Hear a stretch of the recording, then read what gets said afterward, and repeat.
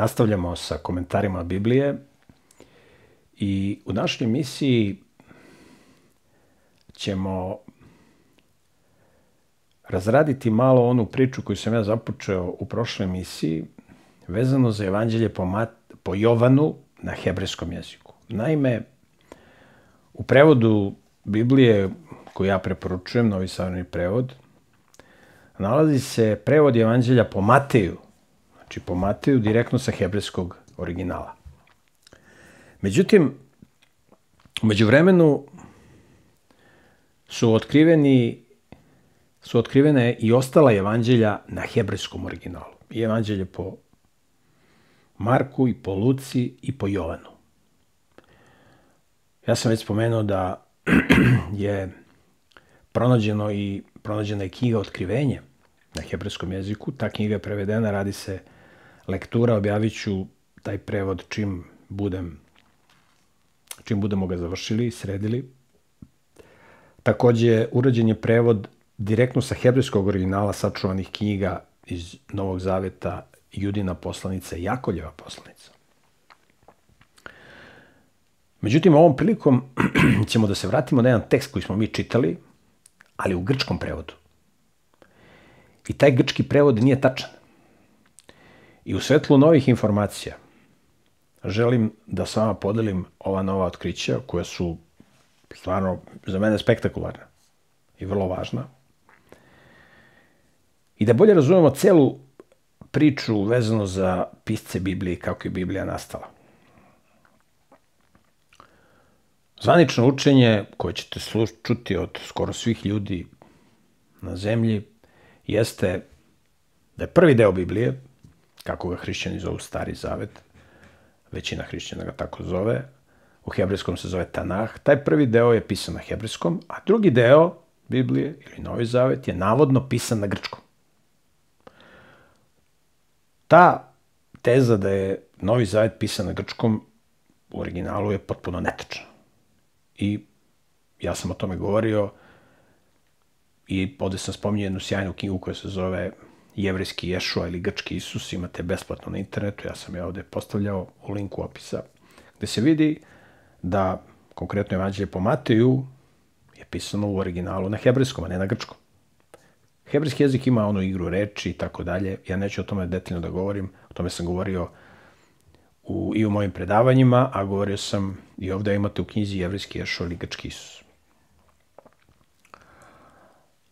I o tome ću govoriti te, te greške koje postoje u grčkom prevodu Evanđelja po Mateju u odnosu na hebrejski original. Ja ću kako budemo dolazili na te tekstove u hebrejskom Mateju, ja ću ih ponavljati.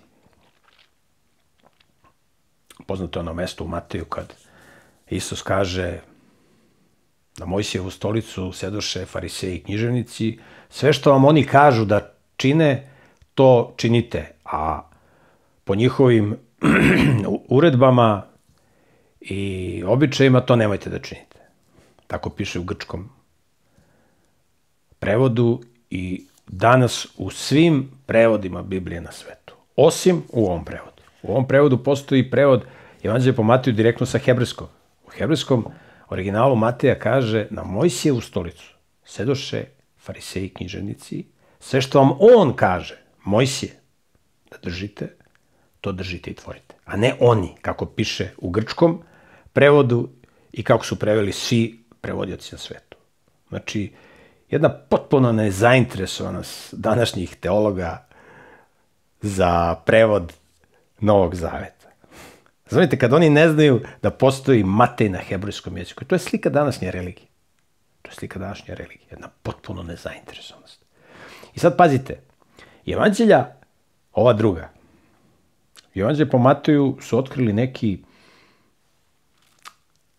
jevreji iz Izraela i onda su oni pitali, nisu oni to znali, oni su čuli za evanđelje po Mateju da postoji na hebrejskom i onda su pitali Nehemiju Gordona, koji je neki karajski jevrin i koji je stručnjak za hebrejski jezik.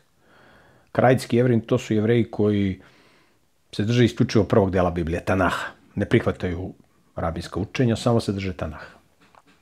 I onda su ovi ljudi pitali Nehemiju i Nehemija, pošto je studirao ovaj, na, a, na Hebrejskom univerzitetu u Jerusalimu, najpoznatijem i ovaj, univerzitetu u, u, u Izraelu. Onda je on to otkrio i kad je otkrio bio je prijatno iznenađen i napisao je posle tu knjigu Jevrijski Jeršo, Ligački Isus. I sad se pojavila jedna porodica koja živi u Australiji. U pitanju je jedna porodica koja, koju predvodi jedan čovek, koji je otac, tako, i on svog sina, ja ne znam koliko oni imaju dece, ali znam da ima jednog sina, možda ima ih više, on je svog sina učio kod kuće, znači oni rade kućno školovanje.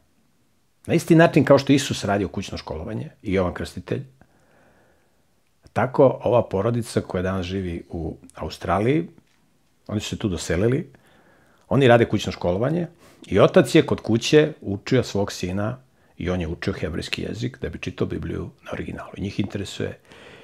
I ta porodica imaju svoj website Hebrew Gospels. Oni su otkrili, znači ima na internetu, ušli su u digitalne arhive. Imate digitalni Vatikanski arhiv. Uđete na Vatikanski arhiv, koji sad veliki deo njihove biblioteke je u digitalnoj formi, kliknete iskoči vam, imate Evanđelje po Jovanu na hebrejskom. Pa onda imate u Peter, Petersburgu isto, kliknete digitalna biblioteka. Pa imate na, ne, na nekoliko mesta sačuvan hebrejski original, odnosno kopija hebrejskog originala, original koji je pisao Jovan nije sačuvan, ali kopija tog originala je sačuvana. I sadrži sve one karakteristike hebrejskog jezika kao što su igre reči i tako dalje.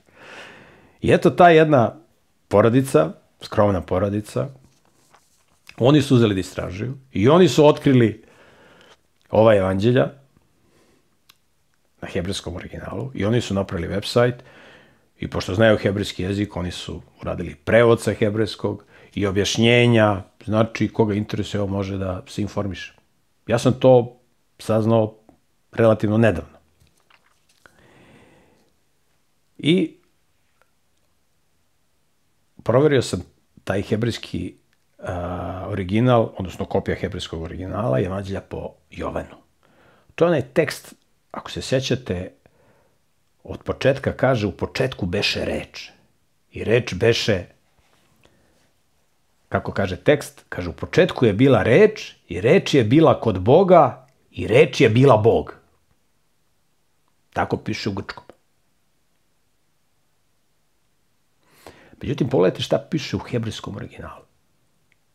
U hebrejskom originalu piše nešto potpuno drugačije. U početku beše reč, logos. I današnji teolozi tu reč logos upotrebljavaju, ili bolje reći zloupotrebljavaju do krajnje granice. Međutim, tu se uopšte ne spominje reč logos. Slušajte kako izgleda hebrejski original ovog prvog stiha Evanđelja po Jovanu, prvo poglavlje, prvi stih. Tekst kaže Znači, ovde kaže u početku je bila reč, ili u početku beše reč. A u hebrejskom originalu piše u početku sin je bio Bog. Početku sin je bio Bog. U grčkom piše u početku je bila reč ili u početku beše reč. A u hebrejskom kaže u početku sin je bio Bog. I tu da piše Bog, koristi se hebrejska reč Eloah. Eloah. Moram malo da uđem u hebrejsku gramatiku, ništa teško, ništa komplikovano. Prva rečenica u Bibliji, na početku Biblija kaže, u početku stvori Bog, nebo i zemlju. U hebrejskom kaže, u početku stvori bogovi, misli stvori Bog, ali reč je Elohim, množina. Množina koja je veća od 2. Elohim, čim ima, čujete ono im, znači da je množina veća od 2. Ako je aim, to je dual, dupla množina. Znači ima i 2. Onda će kad bude rekao nebesa, u početku stvari Bog nebo i zemlju, za nebo se kaže dva neba. Šamaim. Aim, kad čujete aim, aim, znači da je dva, dva neba. Znači, atmosfersko nebo i zvezdano nebo. To možemo pred. Ali ovde kaže Elohim, nemaj. Elohim znači Bog. I Elohim je hebrejska reč koja bi se najbolje na naš jezik prevela kao trojstvo. Bog trojstvo. Elohim. Ali jedan Bog od tog trojstva. Elohim je reč u množini. Jednina je Eloah. Znači, postoji Eloah otac, Eloah sin i Eloah sveti duh. Oni čine Elohim, jednog Boga. On je jedan Bog koji ima, sad, kako mi u našem jeziku to da objasnimo, mi kažemo ima tri dimenzije, ima tri lica. To su ljudske reči da se opiše božansko biće. I to je sve trapavo, ali eto, pokušavamo da koliko toliko razumemo kako izgleda božansko biće u skladu sa onim što ne Bog otkrio. I sad pazite šta piše. U hebrejskom originalu ne kaže u početku je bila reč ili u početku beše reč, nego kaže u početku sin je bio Bog. Pazite šta kaže grčki. I reč je bila kod Boga. A pazite šta kaže hebrejski original. Sin Boga. Ovde se sad sin Boga, za Boga ne kaže Eloah, nego se kaže El. El je skraćnica od Elohim. Znači, sin Elohima je bio sa Bogom. Sin Boga je bio sa Bogom. Evo da počitam sve iz početka. U grčkom kaže, u početku je bila reč i reč je bila kod Boga. U, grčkom, a u hebrejskom originalu kaže, u početku sin je bio Bog, Eloah, sin Boga je bio sa Bogom. Sin Elohima je bio sa Elohimom. U hebrejskom originalu se piše El, ne Elohim, jer El je skraćnica od Elohim. Pazite dalje. I reč je bila Bog, kaže grčki prevod. A ovde kaže u hebrejskom originalu i sin Boga je bio Bog. Znači, potpuno... Sad, pazite, vi čitate grčki. Ponovit ću vam grčki. A to ću vam pročitati i hebrejski. Znači, prevod sa grčkog. U početku je bila reč, i reč je bila kod Boga, i reč je bila Bog. A pazite hebrejski. U početku sin je bio Bog, sin Boga, ili Boži sin je bio sa Bogom, i sin Boga je bio Bog, ili Boži sin je bio Bog. Eloah. Pazite, potpuno, potpuno drugo značenje u hebrejskom originalu. Sad ćemo dalje da analiziramo nekoliko samo stihova iz Evanđelja po Jovanu, da vidite kakav je grčki prevod. Znate šta je grčki prevod? To je katastrofa. U, u opisu ovih nekih osnovnih događaja to je u redu. Ali oko ovih nekih fundamentalnih pitanja, teološki vrlo važnih pitanja, to je, to su, to je katastrofalan, površan prevod grčki. Kao da, kao da su radili neki površni ljudi ili su namerno prilagođavali prevod nekim svojim verovanjima, ti Grci koji su ovo prevodili sa hebrejskog. Znači, prevod je... I onda ne treba da čudi, vi kad pogledate prvi deo Biblije, Tanah, on se danas, njega koriste samo jevreji. Prvi deo Biblije. Samo ga koriste jevreji na hebrejskom originalu. Znate šta koriste hrišćani? I ovi drugi koji čitaju. Muslimani isto čitaju Bibliju. Oni ne čitaju hebrej, oni ne znaju hebrejski. Oni čitaju grčki prevod Tanaha, grčki prevod prvog dela Biblije, takozvanu Septuagintu. Jedan katastrofalno loš prevod. Znači, katastrofalan. Vi kad pogledate danas će hrišćanske teološke fakultete, glavni predmet je grčki jezik. Paganski grčki jezik. Jezik biznisa. Hebrejski, to ne zna niko, to niko ne uči. Nauče, imaju nekog profesora, to fakultativno uče hebrejski, ono, osnovne gramatike i tako dalje. Čita se grčki. Prevod Tanah. Znači, katastrofalan prevod.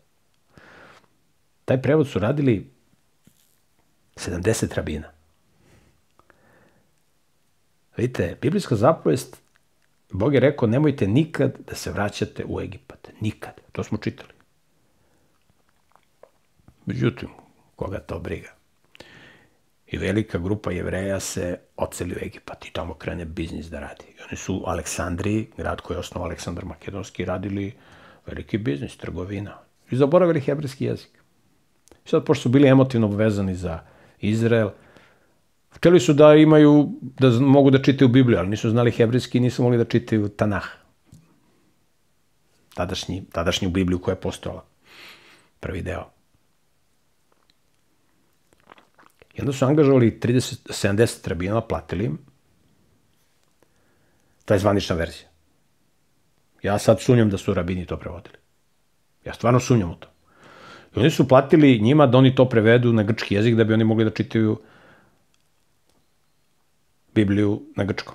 To je kao ovi naši gastarbajteri, morate da im prevodite na engleski ili na nemački, ili oni zaboravili srpski. Ova prva generacija koja vode, oni znaju srpski. A ovi sinovi koji se tamo rode, oni ne znaju. Oni znaju samo engleski, nemački, tako, francuski. Jedan za njima, njima mora sve da se prevodi. I onda s njih 70-torica su prevodili heb, sa hebrejskog Tanah na grčki. I to je katastrofalan prevod. Katastrofalan. Znači, to je, mislim... To je zvanična verzija da je 70 rabina to prevodila. Ja, ja, sam, ja ne verujem u to, stvarno. Ili su oni preveli, pa su onda neki Grci uzeli to da kao lektorišu. Pa su napravili cirkus od tog prevoda. Izmešali knjige.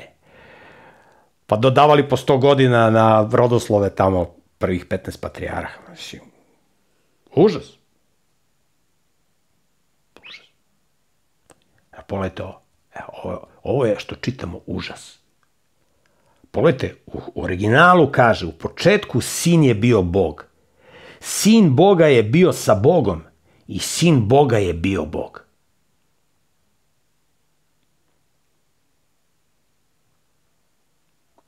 A u grčkom kaže u početku je bila reč i reč je bila kod Boga i reč je bila Bog. Kakva reč? Kakva reč? Logos. Nije logos, nego Eloah, Bog. Potpuno drugo značenje. E sad, pogledajte ovo.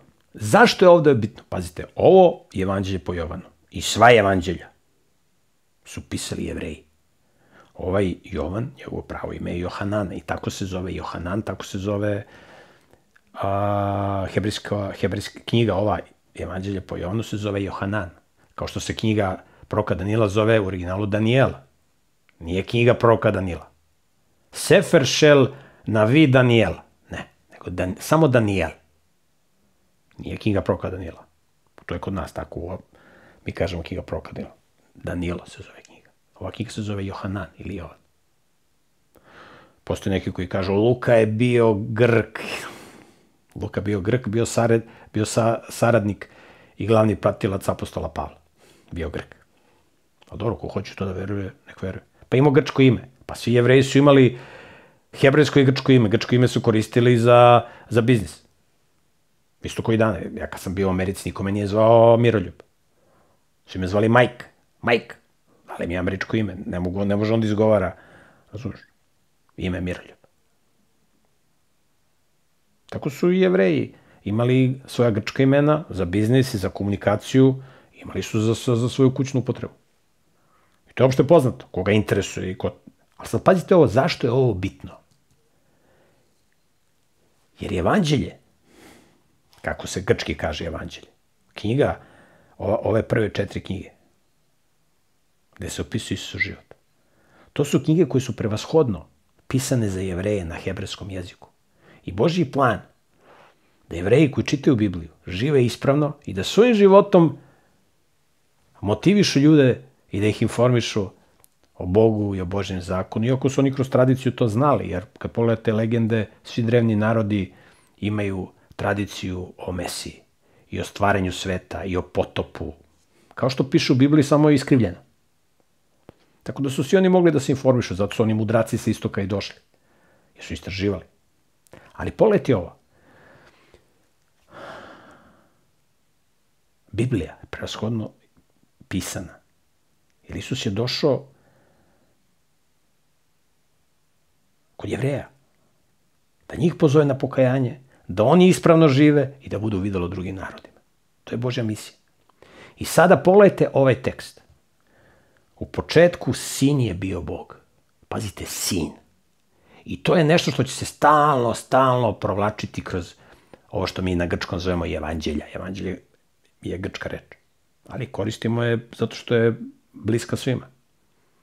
Kroz sva evanđelja mi ćemo slušati reč sin čoveči, sin Boži, sin čoveči za Isusa. Sin, sin, sin. I on ovde kaže u hebrejskom. U početku sin je bio Bog, sin Boga je bio sa Bogom i sin Boga je bio Bog. Tako piše u hebrejskom originalu.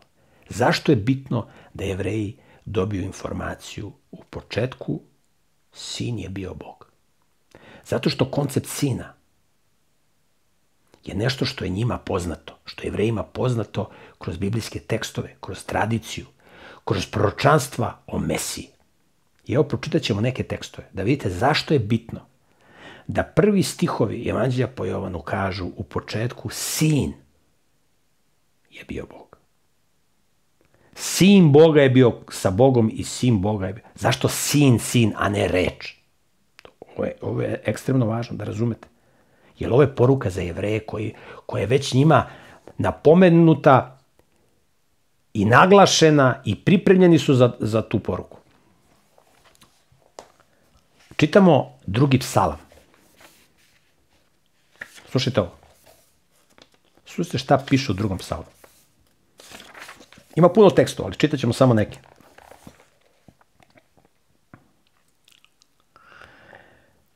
Slušajte ovo. Drugi psalam. Kaže, zašto su se narodi uskomešali i plemena razmišljaju o ispraznim stvarima? Znači, na planeti Zemlji luda kuća. Zašto se uskomešali narodi i plemena razmišljaju o ispraznim stvarima?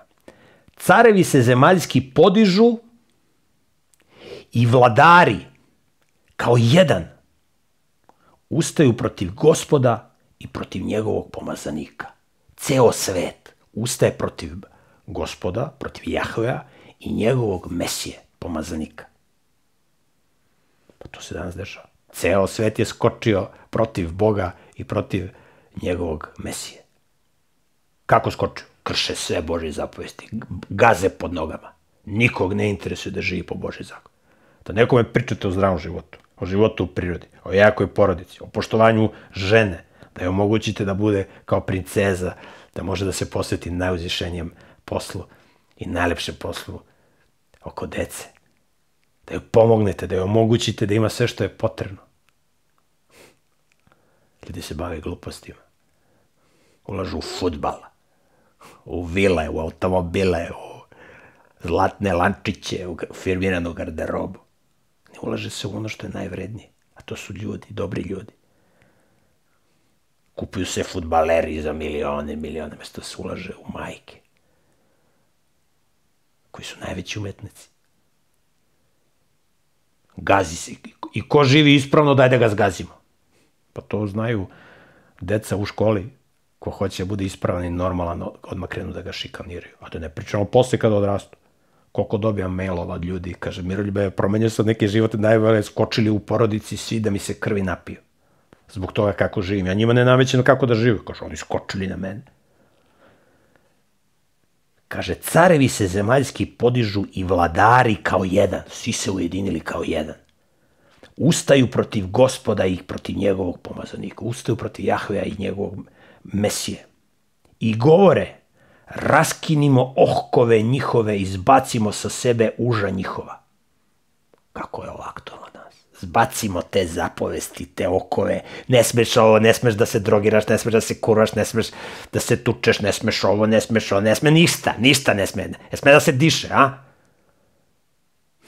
Zbacimo okove, to je sotonska filozofija, da budete bogovi, da budete slobodni, da možda radite šta hoćete.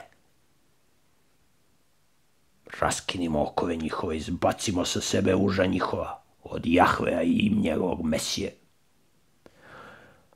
Onaj koji sedi na nebesima, smejaće se. To je ko kad ide lav i kerići laju na lava. Lav ih samo, on ne obraća pažnju na njih. Gospod, one koji sedi na nebesima smeće se. Sam gospod rugaće im se. Ovaj pogleda miševe. Tada će im se obratiti u gnevu svome i u žestini srđbe svoje stvorit će im pometnju.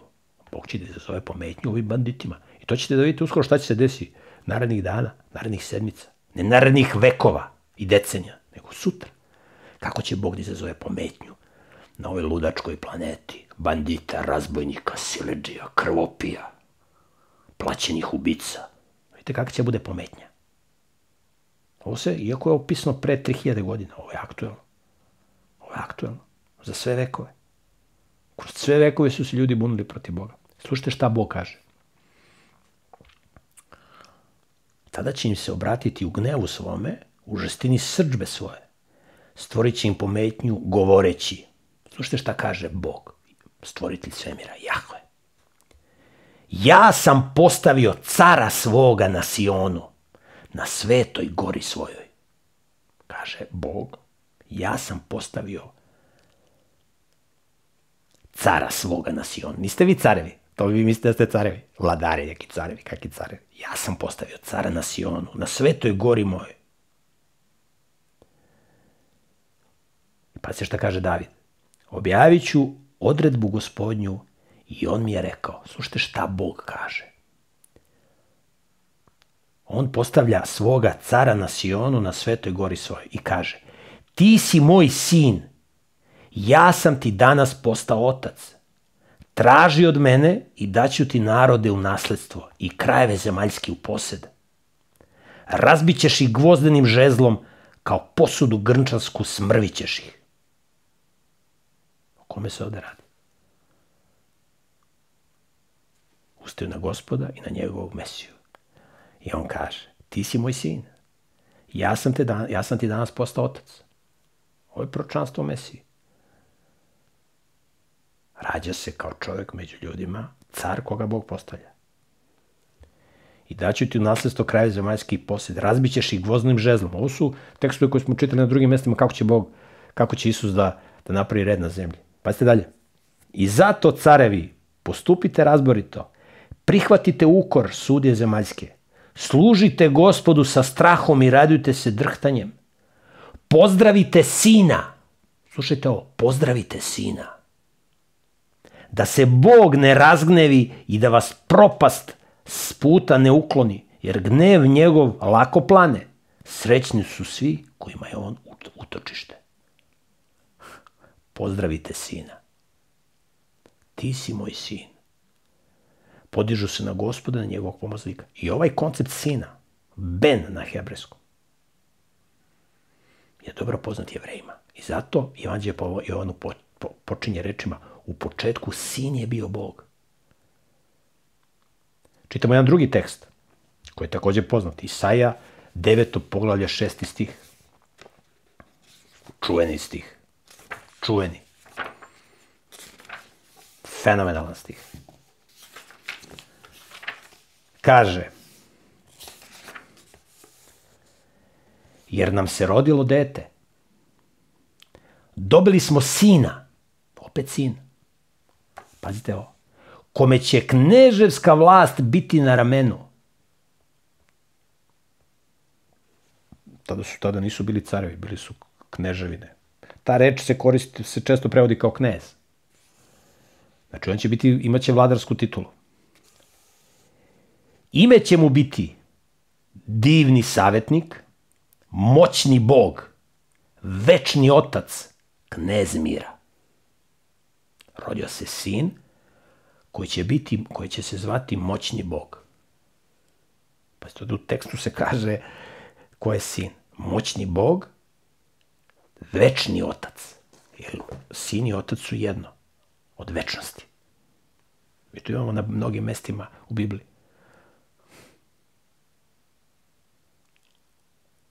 Čitat ćemo, kad budemo kasnije čitali, kad dolaze ovi stručnjaci, teolozi, ovi lažni, pa počnu da prozivaju Isusa. Što se izjednačava sa ocem. Sa Bogom ocem. Pa kaže, si ti stariji od našeg Avrama, ti si, kaže, pametniji od našeg Avrama, a? Ti znaš bolje od Avrama. A Isus im kaže, pa ja postojim pre Avrama. ja sam postojao pre Avrama. Čitat ćemo te tekste. Šta si rekao? Pa ja postojim pre Avrama. Vi znate, ste čitali biblijske tekstove, da ja postojim pre Avrama. Ovi skočili da ga kamenuju. Što pričaš ti, jesi normalan? Ti si stariji od našeg oca Avrama, a rodio si se pre 30 godina. Šta pričaš, čoveče? Da, da ga kamenujemo. Da ga kamenujemo. Slepci ne čitaju. To je što kaže Nikodimo. Kaže, ti si učitelj u Izraelu, a to ne znaš. Tako je ovi današnji stručnjaci teolozi. Što je rekla moja baba Anđa, Ćutuk. Kaže, on ti ko Ćutuk? Ćutuk znači ne zna ništa. E to su ovi današnji stručnjaci. Nije to samo teologija, to su sve oblasti nauke. Znači, zato planeta gori u propadanju, gori u nemoralu. Da ne bude da ja kritikujem neke druge. Bio je popis stanovništva u Srbiji 2002. pa 2011. i sad se ponovo radi popis. Otprilike na svakih 10 godina se radi popis i Srbija gubi godišnje između 800 hiljada ljudi, e, Srbija gubi na 10 godina između 800 hiljada i milion ljudi. Znači, otprilike godišnje Srbija izgubi između 85 i 100 hiljada ljudi godišnje. Pazite, nestaje. Nestaju ljudi. Prva zapovest kaže, rađajte se i množite se. Ljudi nestaju. Pazite, u maloj Srbiji. U takvoj situaciji u svim drugim zemljama sveta, osim u islamskim i u Kini. Ne znam, u Kini tamo su uveli neke rigorozne zakone i tamo i u Indiji raste populacija. U ovim takozvanim razvijenim zemljama, znači depopulacija, nestaju ljudi, guta ih satanistički sistem. E, to je slika sveta u kome živimo.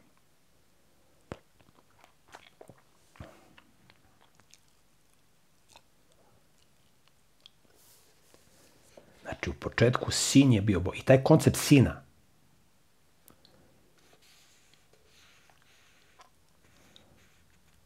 jer nam se rodilo dete, dobili smo sina. Ime će mu biti divni savjetnik, moćni bog, večni otac, knez mira. I to piše u Anđelju po Jovanu. U početku sin je bio bog.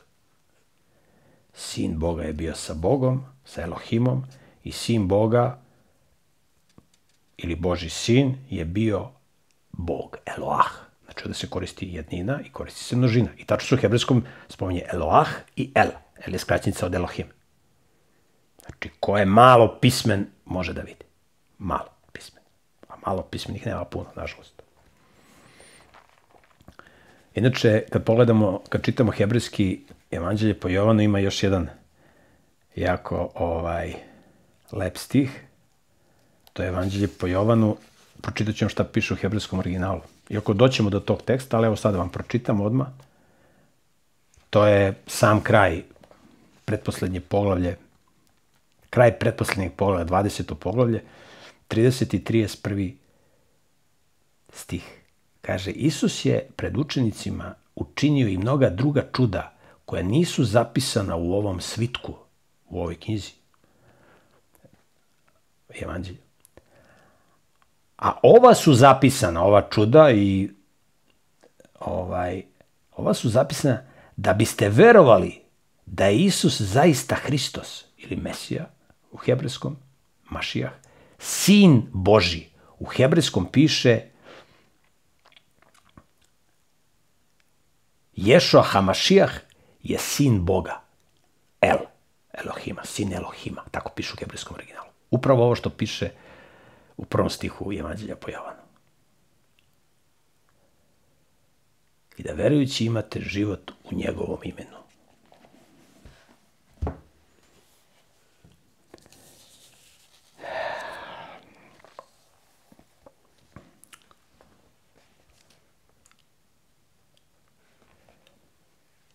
Inače, a,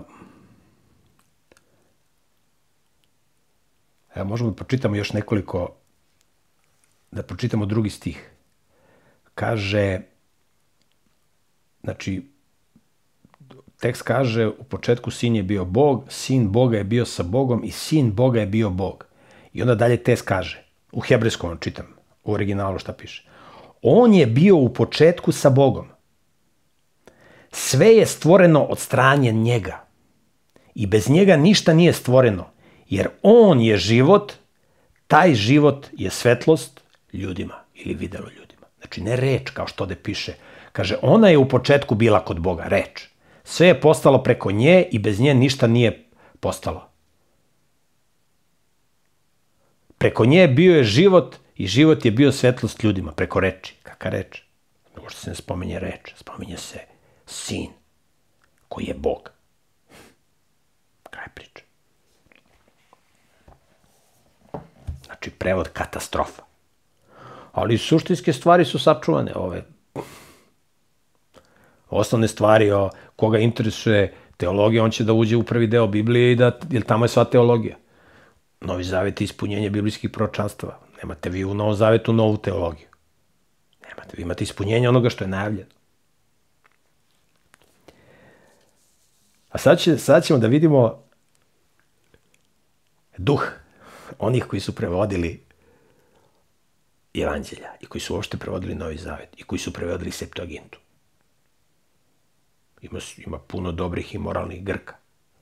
Ali grčka religija, to je, va, to je egipatska religija. I sam Herodot, otac istorije, ove moderne istorije. Zato što Grci kažu da istorija počinje od njih. Sam Herodot kaže da su Grci jedno malo egipatsko idolopokloničko pleme koji su došli na teritoriju Male Azije i Peloponeza, današnje Grčke malo idolopokloničko pleme.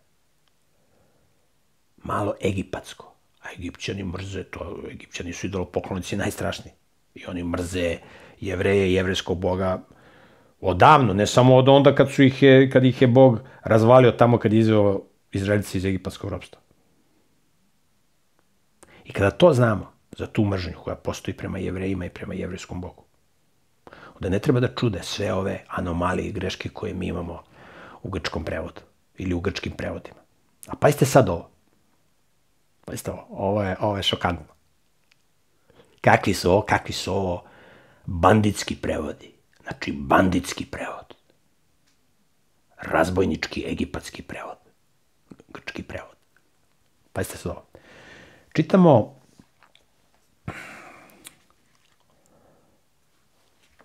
Evanđelje po Jovanu isto prva poglavlja, Samo se malo spustimo par stihova niže, kaže ovako.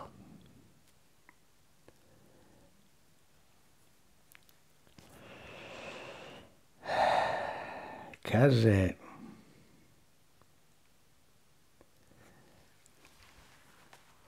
kaže deveti stih, istinita svetlost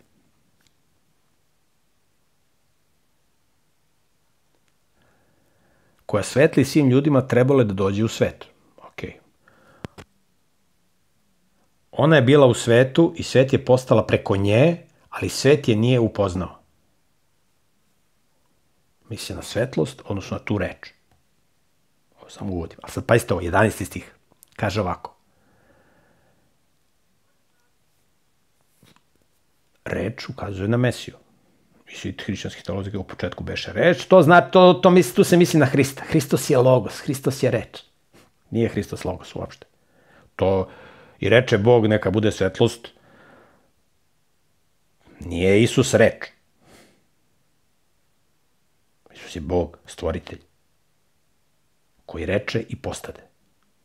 Pa stvara se kroz Isusa. Pa kakve to veze ima reč? I reče Bog. I reče Bog nema veze da on stvara kroz Isusa. On stvara zajedno sa ocem. A pazite se ovo, ovo. 11. stih. Pazite, grčki prevod. Grčki katastrofalni banditski prevod. Slušajte ovo. Došao je ka svojima, ali ga njegovi nisu primili. Došao je svojima. Došao je kod jevreja, ali ga jevreji nisu prihvatili. Kaže grčki banditski razbojnički prevod.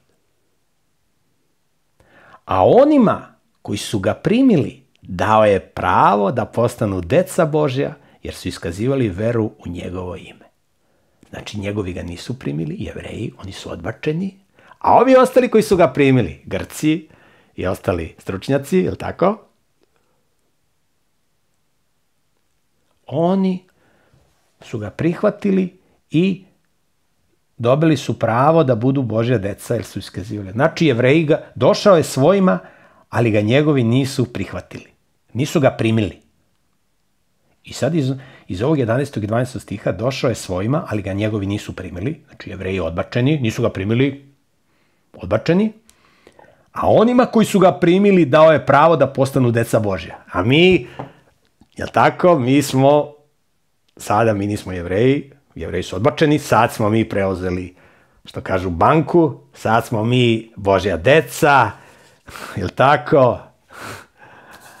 Bog je ljubav, sve je dozvoljeno, ukinut prvi deo Biblije, taj stari zavet ukinut. Ste čuli kako glasi grčki banditski razbojnički prevod? Došao je k svojima, ali ga njegovi nisu primili. A sad, ćemo, sad ćete čujete šta piše u originalu hebrejskom. Znači, grčki, grčki prevod kaže došao svojima, ali ga njegovi nisu primili. Jevreji ga odbacili. Pazite, ako neko čita Bibliju i ako neko ima potencijal da prihvati Isusa za Mesiju, to su jevreji, jer je samo jevreji čitaju Bibliju. Drugi niko ne čita Bibliju. Niko. On neko ne čita prvi deo Biblije, on ne može da razumeš koncept Mesije. I među jevrejima ima puno ljudi koji prihvataju se za Mesiju. I najveći potencijal da prihvate Isusa za Mesiju imaju jevreji, jer oni čitaju Bibliju. Ovi drugi niko ne čita. Čitaju redki pojedinci kod hrišćana, kod muslimana, ali oni uglavnom ne čitaju. To je ukinuto, to ne važi, izvuku neki stih ovako. Hebrejski ne, oni, ko, koji hrišćanin zna hebrejski jezik, ne znam nijedan. Koji hrišćanin uči hebrejski jezik?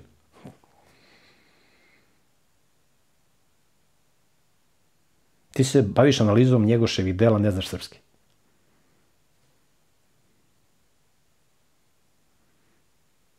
Kako ćeš da se baviš analizom Njegoša ako ne znaš srpski?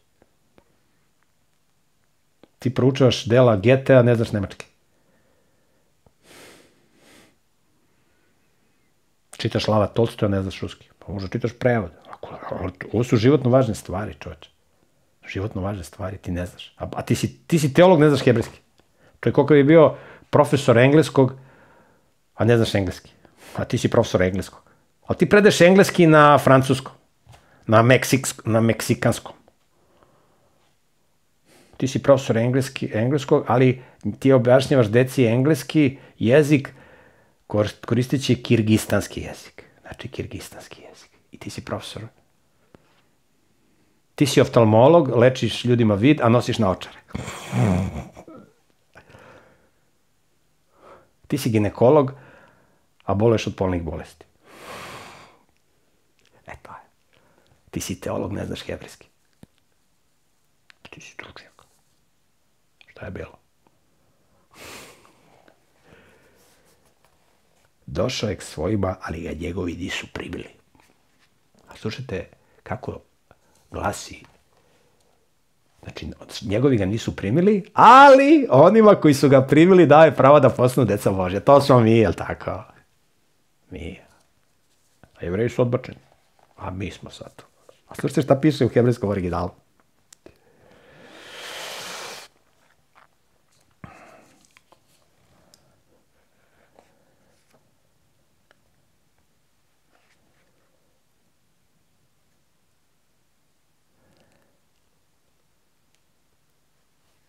Kaže, deseti stih kaže svetlost, odnosno reč, Ona je bila u svetu i svet je postala preko nje, preko reči, ali svet je nije upoznao. A slušajte šta piše u hebrejskom originalu. Pošto, na he, pazite, reč svet, koja se ovdje, ovde u desetom stihu spominje tri puta. Ona, reč, pošto u grčkom se ne kaže Bog. Eloah, za sina nego se koristi reč. I kaže se, ona reč je bila u svetu i svet, opet se spominje svet, je postala preko nje, preko reči, ali svet je nije upoznao. Svet se spominje tri puta. U hebrejskom jeziku svet se kaže olam. Ali svet, ali olam na hebrejskom jeziku znači i večan. Znači olam znači večak, večan. Kaže beritolam, savez večni. Beritolam. Ulaziš u savez večni. A olam znači svet na hebrejskom. I onda se reč olam koristi u hebrejskom originalu, kao što vidite, kao igra reči. Ja sam o tome govorio. Pazite šta piše u hebrejskom originalu. Ovde kaže, ona je bila u svetu, reč je bila u svetu. A slušajte šta kaže hebrejski original. Kaže, on je večan.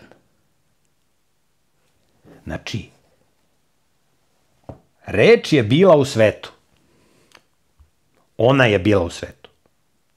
Logos je bio u svetu. A u hebrejskom se ne kaže da je ona bila u svetu, nego on je bio večan. Jer svet i večan je ista reč u hebrejskom. Znači, ona je bila u svetu. Katastrofalan prevod. On je bio večan u hebrejskom originalu. Da ponovim.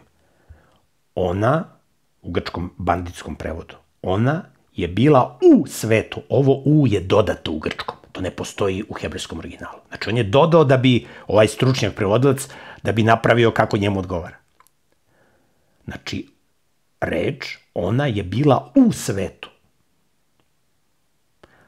Da je hteo da prevede doslovno, rekao bi, ona je svet. Ali ona je svet, nema smisla. I onda mora da doda u, ona je svet. A hebrejski kaže, on je večan. Znači, ne prevodi se olam ovde sa svet, nego sa večan. On je večan. On. Eloah, sin. Pa ste dalje. I on je stvorio svet, olam, ali svet ga nije prepoznao. Tako piše u hebrejskom. Svet ga nije prepoznao, a ne svet ga nije primio. Svet ga nije prepoznao.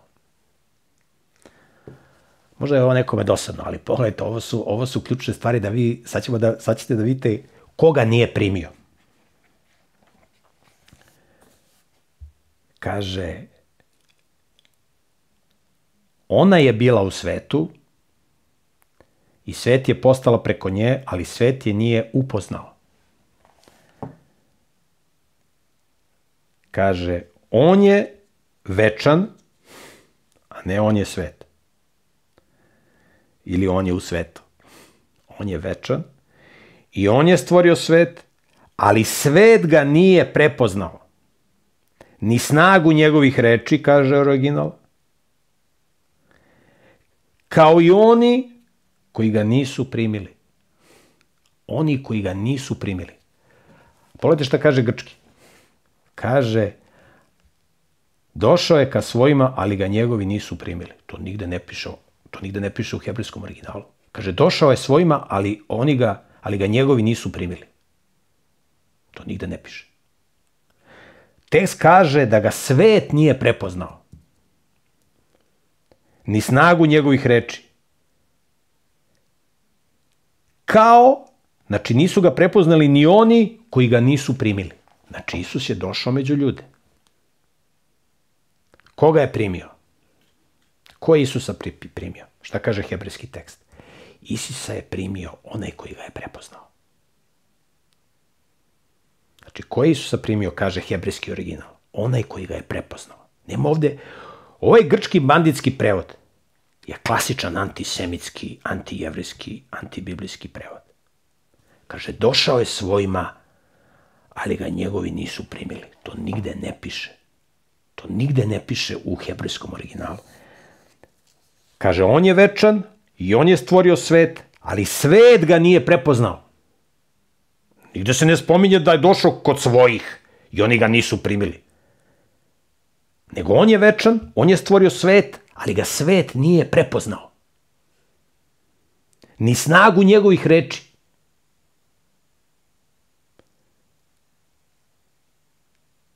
Kao i oni, znači nisu ga prepoznali, ni snagu njegovih reči, oni koji ga nisu primili.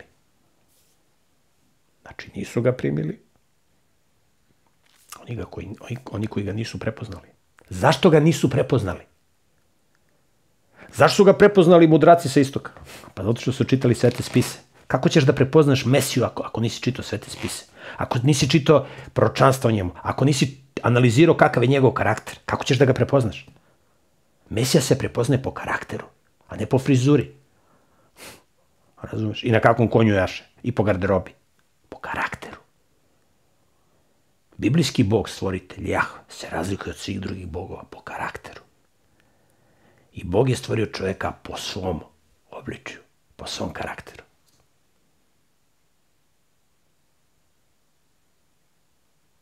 Mi ćemo objaviti, ali mislim, mi, objavit ću ja, ako budem stigao, ako budem imao života i zdravlja i energije, i, pošto radim 50 poslova, gledat ćemo da uradimo prevod ovog evanđelja po Jovanu, pa da to objavimo sa hebrejskog direktno na naš jezik.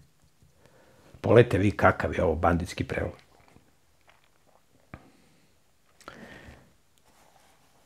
Evo da, da, da pročitam ponovo hebrejski. Kaže, on je večan i on je stvorio svet, ali svet ga nije prepoznao. Ni snagu njegovih reči, reči kao i oni ga koji ga nisu primili. Oni koji ga nisu primili ga nisu prepoznali. A onima koji su ga primili, dao je da budu deca Božje. To piše u hebrejskom. Znači, oni koji su ga primili, Kako su ga primili? Pa zato što su ga prepoznali.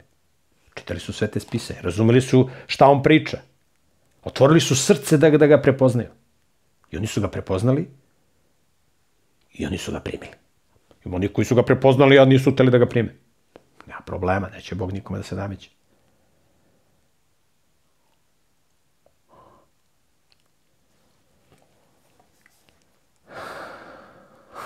Kakav prevod. Ona je bila u svetu. Reč je bila u svetu. A u hebrejskom piše on je večan. A on je ovaj ubacio u. Pošto nije mogo da kaže ona je svet, on prevodi olam sa svet umjesto večan. U kontekstu se vidi šta znači. Piše on je večan. A on prevodi ona je u svetu.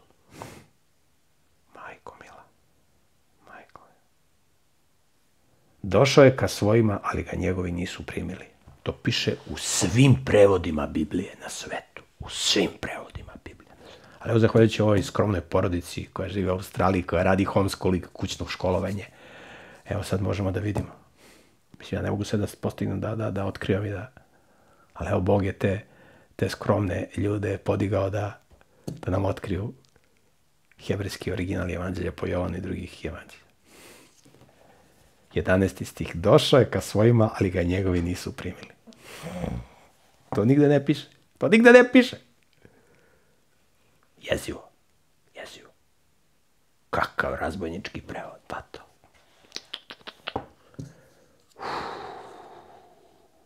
Pravi antisemitski prevod.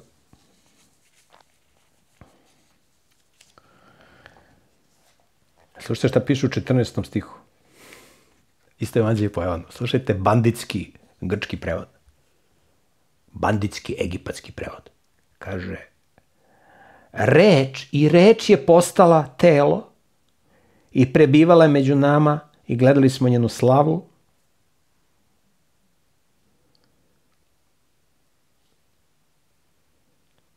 I reč je postala telo i prebivala među nama i gledali smo njenu slavu. Reč je postala telo. A znate šta piše u hebrejskom originalu?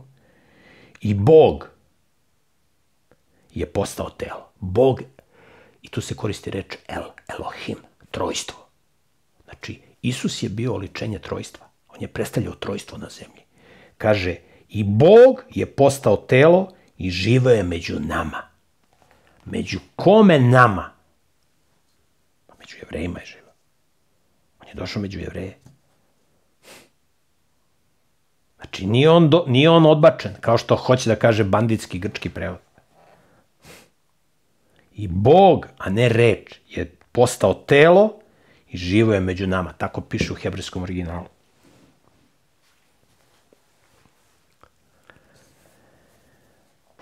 Pazite, ovo je kratak prikaz. Ako koga interesuje, možda pogleda na hebrugospels.com sajtu.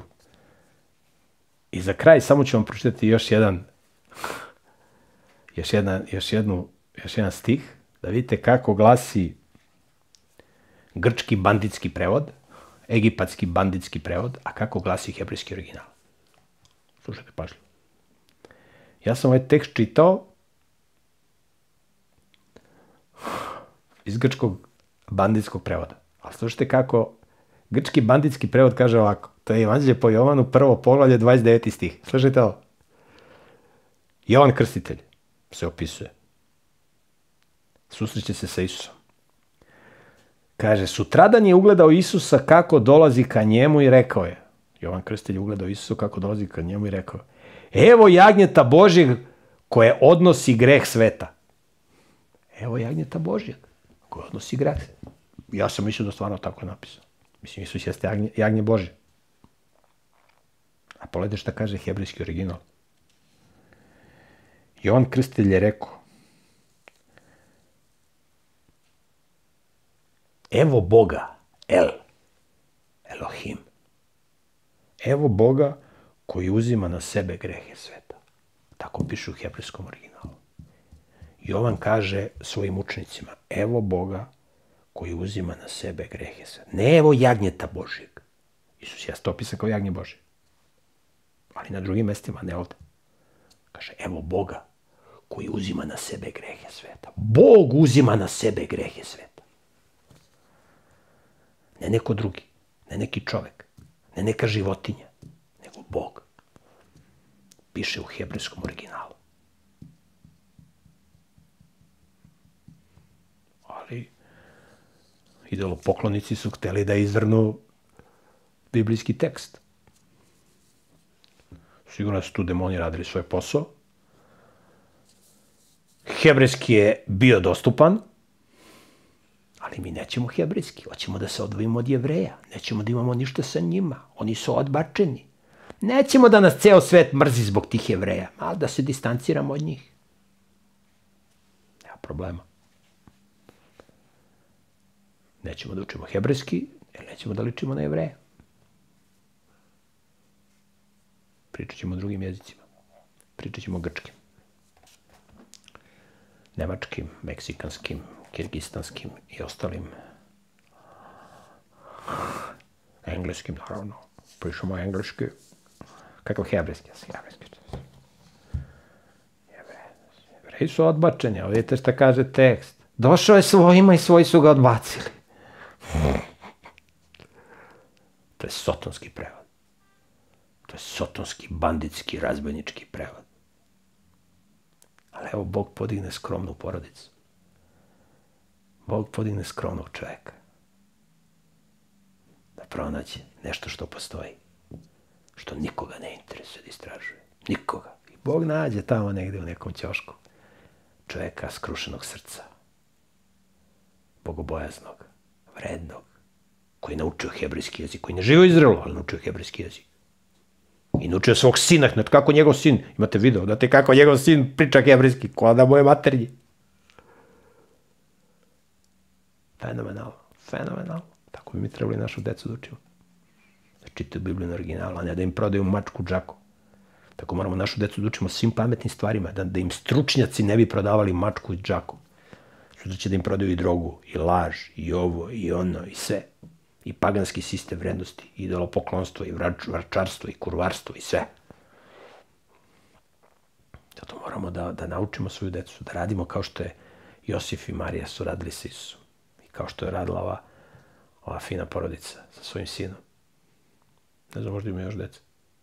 Kućno školovanje. Kod kuće da učimo dece, pa, decu pametnim stvarima.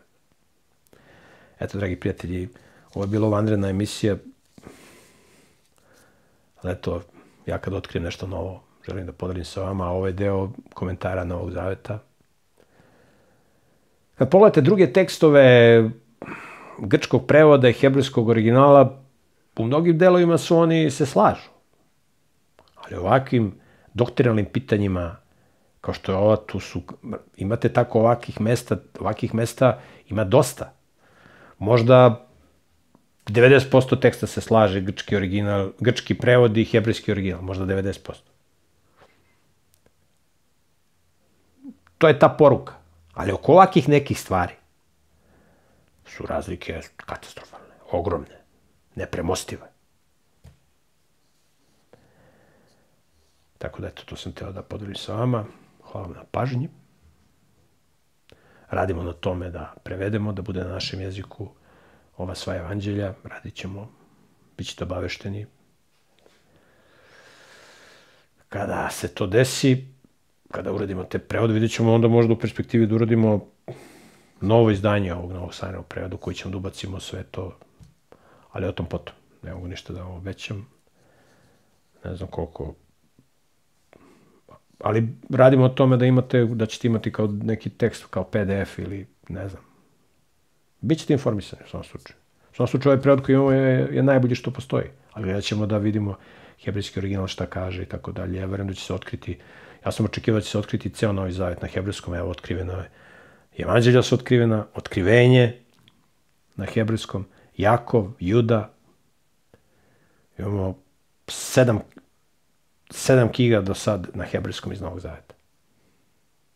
Tako da očekujem da ćemo imati i dela apostolska i poslanice uskoro, da će Bog da podigne neke ljude preko kojih će to da, da otkrije.